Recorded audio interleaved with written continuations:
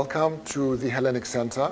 My name is Stamos Fafalios. I'm chairman of the executive board, and we're very pleased to have you here with us tonight. This is the first big celebration of the 25th anniversary of the center. We have uh, a year of programs, and tonight we're opening with our first major event. So now I switch hats, and I'm speaking to you now as uh, Atopos CVC. The CVC stands for Contemporary Visual Culture. We are a Greek uh, cultural organization based in Athens, so in Metaxourio, and we're also celebrating our 15th anniversary this year since we've been working together. As a cultural organization, we create exhibitions, which so far have first been shown in Athens, and then we've been invited to take them abroad. The first exhibition we uh, created was called RIP, Paper Fashion, and it took place at the Benaki Museum in Athens in 2007. And since then, we have been invited to take it um, around Europe, uh, to Luxembourg, Antwerp, Zurich, Copenhagen. A small version of it went down to Melbourne. And this is the first time we're showing it in London. So we are very happy to be in London, very grateful to the Hellenic Centre, who are the main sponsors of this exhibition. It's a collection of disposable paper dresses, American, um, this was uh, a work in progress after the 2004 exhibition in Athens of uh, Horses that took place with the Olympics at the Benaki Museum again.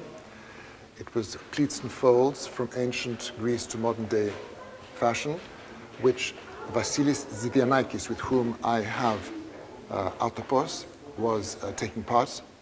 And um, he was the, the uh, curator. Um, and this was the next chapter. We wanted to do something of art and technology in fashion.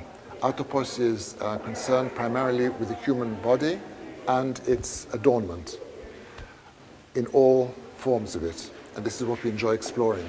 So while we were exploring um, uh, the use of paper in clothing, we came, the, the, younger members of the team came across these disposable or throwaway paper dresses, which were very fashionable in America between, for two years, between 1967 to 1969. It was a fad that swept America, eventually came to Europe, but it was over in two years. And that was because the hippie movement, which was in full swing then, suddenly became environmentally conscious and they um, uh, stopped buying or using paper clothing because of the amount of trees it was destroying to produce these dresses. These dresses were designed primarily to be worn once and thrown away. They came in three sizes, small, medium, and large. You bought them in packages, which you can see here in the exhibition. And uh, the, the, the, girls, the young ladies wore them, cut them as short as they wanted to, and the bits of paper that was left over, they turned into a belt or whatever. They had fun, and then they threw them away. At the same time, uh, NASA was looking for a paper-like fabric that the astronauts could wear when they were going to on their space missions. And they wanted something like paper, but stronger than paper. And that was when DuPont in Paris was experimenting. They came up with Tyvek. Tyvek is a paper-like fabric, which is, um, you will use it now, it's used for these um, advertising uh, campaigns. It's a plastic paper, but strong. So it's we have a lovely story to tell. And as we were doing our research, we discovered that in Japan and China, they were wearing paper clothes in the 19th and even 18th century. There was um, a, a, a, lack of uh, raw materials, and the poor people turned to, to make clothes with whatever they could find, and some people uh, used paper. Others uh, used paper for clothing when they were for religious reasons, for monks when they left go of all their worldly possessions, etc., uh, etc. Et so we have collected all this, and the collection's been growing since 2007. So this is the first time we're showing it um, in its entirety tonight. Also, it just happens that Athens uh, was designated by UNESCO um, as the World City of the Book from April last year until April this year. Atopos is taking part in this celebration in Athens uh, with, with a, another project called Fluffy Library. And we have uh, given over our premises and we've opened up our library to this creature made out of fluffy um, fabric that devours books. And we've created an environment where you can go and look through our books, lounge, lie around, take your friends, and spend a very happy afternoon. We've, we've converted the whole top floor into a sort of fluffy funland. Here, we have uh, we brought our project from Greece here in a different form. We are showing, we're emphasizing our pieces that have text on. So this exhibition is, that's why this exhibition is called Text Me Paper Fashion. So when the, the, the paper dress fad started with um, Scott Manufacturing Paper Company, who wanted to advertise their new household products, tablecloths, napkins, toilet paper, etc., etc. So you bought them in bulk, and there was a, a, a voucher on the back. You collected the vouchers, you sent in a dollar and got a gift. The gift that they received was a paper dress made from the same paper as their products. Before they realized it, they had already sent out over 500,000 items of this dress, and they realized that there was a market. So very soon, they, um, people began producing these dresses, and the very first ones, in fact, are these here, and there are two. The op-art dress, which is black and white, and the bandana. The first designs they used were um, symbols of America. The bandana from the cowboy bandana, and the op art, because the Metropolitan Museum of uh, Art had just had um, a big exhibition on op art. So that, that was the two cultural themes at the time. And after that, people began using these dresses because of their shape. They were perfect canvas for artists. And we've got Harry, like Harry Gordon, which is one of the key uh, dresses in this exhibition, because um, uh, Ginsberg wrote this famous poem, Uptown New York, which he chose to have printed on this dress first before it was published. And we have this in the front etc., um, etc. Et and as quickly as it started, the whole fad ended in 1969. Um, the, but uh, one item worth noting is when you go around the table is the kimono in the middle of the table. That is my favorite piece. It's a star piece because it's made from pages, it's recycled paper. And the um, Japanese had used old account books and they had torn out the pages joined them, and then sewn them into a kimono. Now, in Japan, when, you're when you were uh, learning how to sew kimonos, apprentices produced hinagatas. They're called hinagatas. Just like here in England, uh, apprentice carpenters produce miniature versions of chest of drawers or chairs when they're learning how to make things. Here they made small kimonos, but what's unusual with this kimono is it's, it's full size. So we're not sure what it was for. It's wearable, um, and it's very, very beautiful in the middle of the table. Also, there are dresses that were used for presidential campaigns. They were used for advertising. So all the young um, ladies who were supporting Nixon, Bobby Kennedy, Trudeau would wear these dresses, stand behind Nixon and go, Nixon. You see photographs of them there. And they were used for advertising Baby Ruth and whiskey, Time magazine, George Romney, etc., etc. Do come and see it. It's a fun exhibition. It's a very happy exhibition. Whoever sees this collection, um, uh, go away with a good, feeling good. Around the top of the room, I didn't tell you, uh, dresses from the collection. All these are period um, 1967, 69, 69. So to think these were made to be worn once and thrown away, these are already 60 years old. The exhibition opens tomorrow, the 16th of January, and it's on until the 24th of February. It's open most days of the week, and every Wednesday uh, between 7 and 9 o'clock in the evening. Wednesday's late night, and on every Wednesday at 7 o'clock, um, I will be giving a conducted tour in either Greek or English of the whole collection. Thank you very much.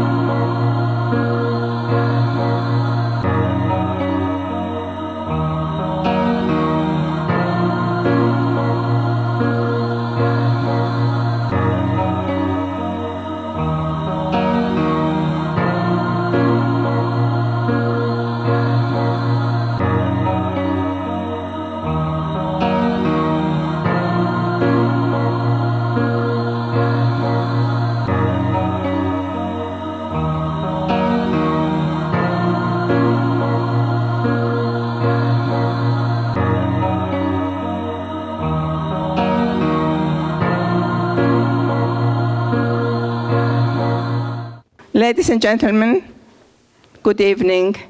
I am Agatha, Agatha Kalisperas, the director of the Hellenic Center, and I'm really delighted to welcome you all here this evening and to celebrate together the year of our 25th anniversary.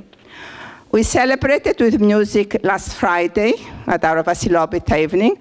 We're celebrating today with this major exhibition, and we'll continue the celebrations over the year with lectures, exhibitions, concerts, and many more. Members of the Hellenic Center's executive board, who had seen this collection at the Benaki Museum in 2007, decided to invite Atopos organization, the owner of the collection, to show it in London. We are grateful to the chairman, Kostas Kleanthous, and the members of the Hellenic Community Trust Council who embraced this unusual proposal and provided the finance to make it possible. Thanks also go to the other sponsors. The exhibition is unlike any others we had here over the years. The connection with Hellenism is quite strong. It is owned by a Greek organization, and it is the biggest collection in the world. Apart from the exhibition at the Benaki, the collection has been shown in many other European countries, and for the first time now in the United Kingdom. Um, as you see, this is a fun and colorful exhibition, but it is also an important and serious exhibition. This is the complete study and research on the use of paper and paper-like material in costumes over the centuries. The original idea and research started by Vasilis Zidianakis, and then the collection grew over the years. There are paper garments from the 19th century from China I think it's the middle one, that one, the white one there, is 19th century China. Paper dressers from contemporary designers, but the biggest collection are the paper dresses during the two years in the 1960s, when it was the craze in America to have disposable clothes, and there were in England as well disposable underwear, as I remember. Uh, the book um, there inside the shop is the most comprehensive book in the history of paper garments up to now. A big thank you goes to the Atopos team, Vasilis, Stamos, Katerina, Christina, and Fotini, for months of preparation and for spending the last five days and nights installing this exhibition. Later this month and in February, there will be two lectures related to the exhibition, so hopefully you'll be able to attend. Also, every Wednesday evening, there will be guided tours at 7 o'clock. Stamos Fafalios, the curator and exhibition designer, will say a few words in a second. Uh, just before that, as you all know, or most of you know, I have to deal with uh, some um, practical matters about the fire exits. One is there, and one is the other side of the room, uh, straightforward. And to let you know that the reception will start upstairs after Stamos uh, says a few words in about uh, five, ten minutes. Um, no drinks or food are allowed in the Great Hall, but the exhibition will stay open until about nine this evening, and it will continue until the 24th of February. So tell all your friends what a uh, colorful and uh, unusual exhibition is here. Uh, please do not touch the exhibits, but do touch a dress that is outside I don't know if you saw it's a dress outside opposite the cloakroom and uh, to touch it and to, to feel the, you know, to feel the, the paper. Um, so that's all from me. Let's welcome Stamos, who is the curator and the designer. Agathi, thank you very much for those very kind words. There are only a few left for me to say. You said everything. no, I don't know much. What I would like to say is, first of all, thank you very much to the Hellenic Center for having invited us to bring this uh, exhibitions collection here.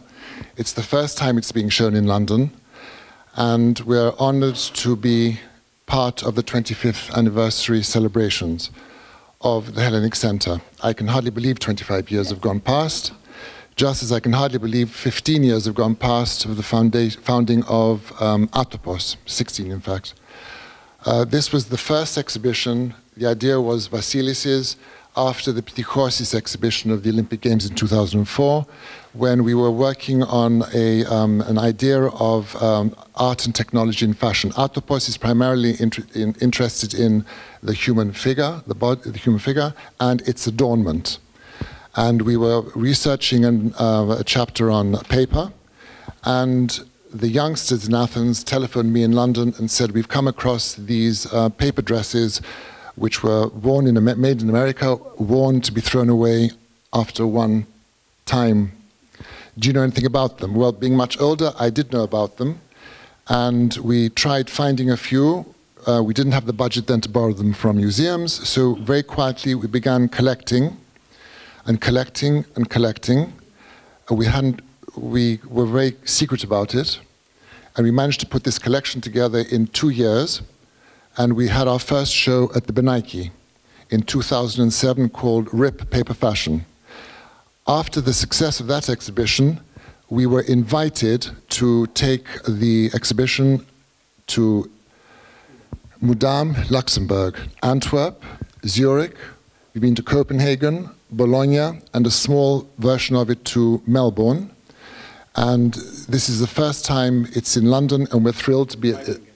Oh, Waiblingen as well. Yes, at Waiblingen. Thank you. And this is the first time it's in London, and we're very pleased to be in this super space. Um, a very dear friend of um, mine and Anthony's, if he's here, Sir Howard Hodgkin, when he first came to this space, he said this is one of the best kept secrets in London, this exhibition space. So we've been here for the past four days. We thank Agathi and all the, your office, your team here. We've been looked after royally. We've been here for four days installing this show.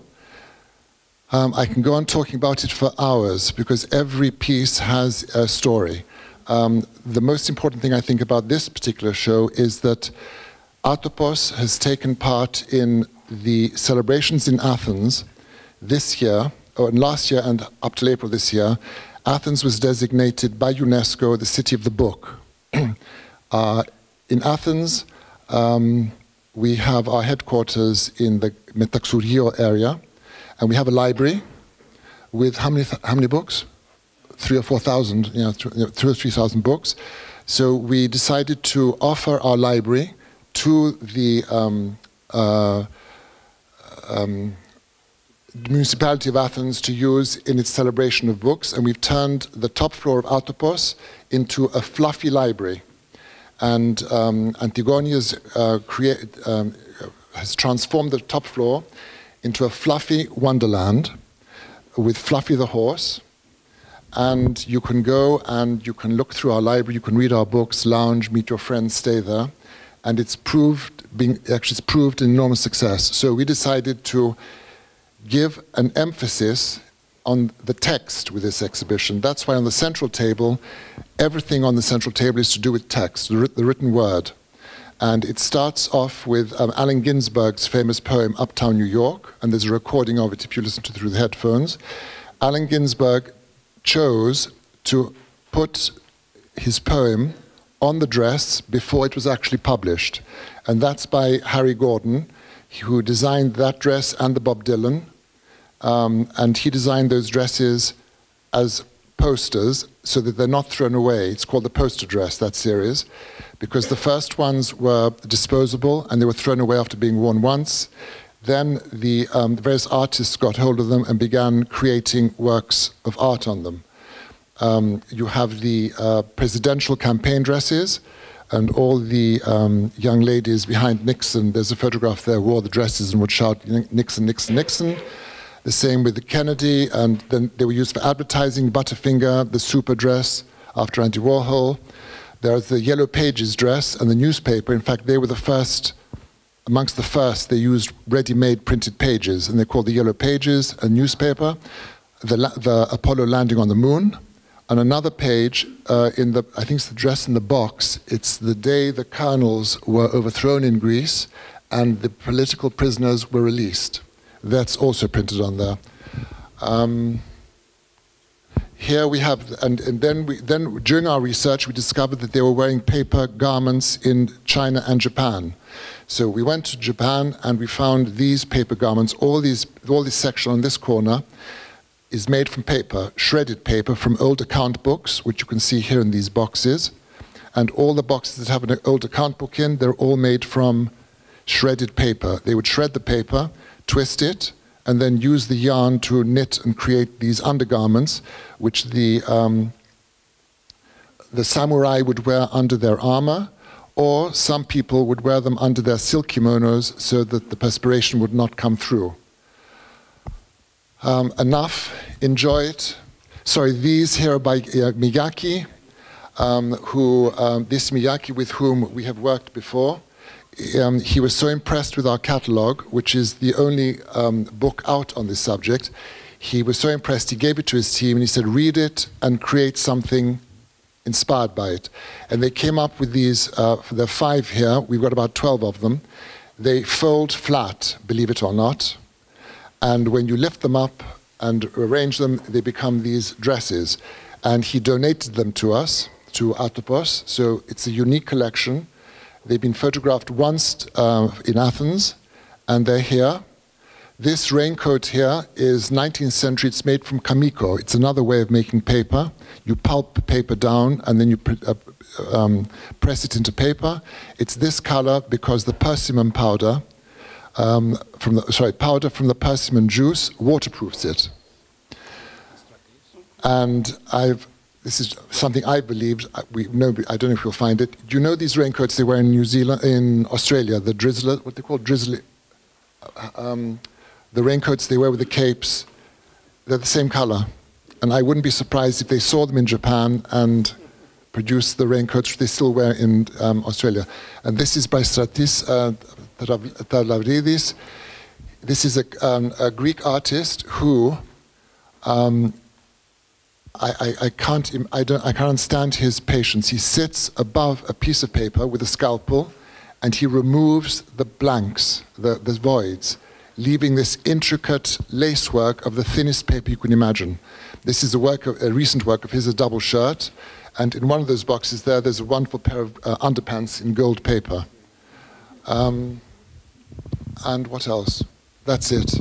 Please enjoy it. Ask whatever questions you want. Every Wednesday we give a guided tour um, from at seven o'clock, and um, upstairs there's wine. There's a reception upstairs. Thank you very much. Oh, oh, I'm sorry. I'm sorry. Sorry, my, I forgot. I want to thank our sponsors, primarily the Hellenic Center and the Hellenic Community Trust, the main sponsors of the exhibition, um, uh, Kondorousis, SLA, Transport, and the Anonymous, Anonymai. And Agathi, thank you very much again. And I personally thank the Atopos team, Vasily, Katerina, Christina, um, for your dedicated work. Thank you very, very much. And those in Athens. Thank you. Thank you. Thank you, Stam.